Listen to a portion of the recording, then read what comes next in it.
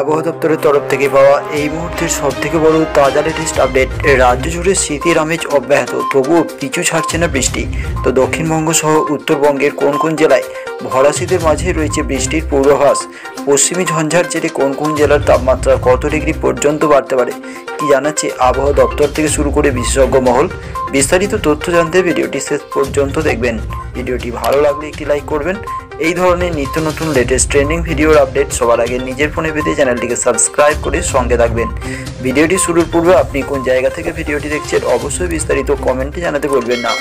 উত্তরে হাওয়ার প্রভাবে আজও রাজ্য জুড়ে অব্যাহত শীতের আমেজ। কলকাতা সহ দক্ষিণবঙ্গের সব জেলাতেই কনকনে ঠান্ডা পড়ছে। তাপমাত্রার পারদ অনেকটাই কমেছে।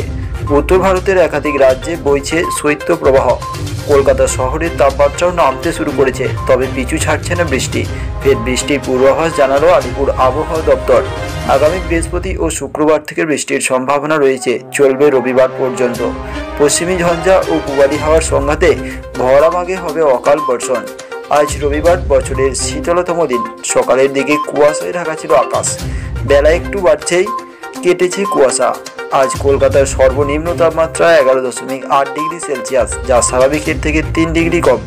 সর্বোচ্চ চব্বিশ ডিগ্রি সেলসিয়াস। আগামী আটচল্লিশ ঘণ্টা স্বাভাবিকের নিচেই থাকবে পারদ তবে মঙ্গলবার থেকে রাজ্যে ফের তাপমাত্রা বাড়তে শুরু করবে।